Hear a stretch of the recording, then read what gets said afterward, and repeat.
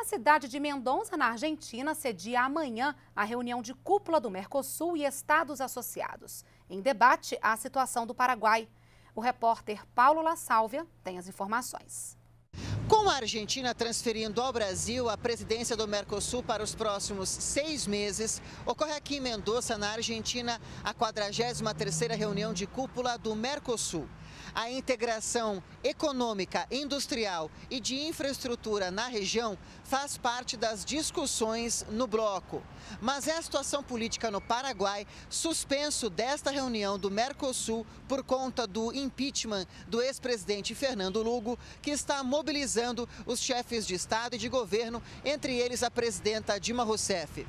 O processo político no Paraguai também vai ser discutido nesta sexta-feira pela Unasul. A União de Nações Sul-Americanas foi criada em 2006, é formada por 12 países do continente e prevê sanções aos países que coloquem em xeque a democracia na região.